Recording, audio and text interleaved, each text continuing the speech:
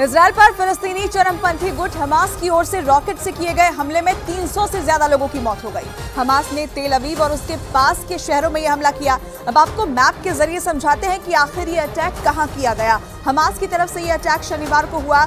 Israel को इसकी बिल्कुल भी भनक नहीं थी। कौन कौन से वो शहर थे? इस मैप के ज़रिए आप समझिए। तेल अवीव वो शहर जहाँ पर अटैक किया गया।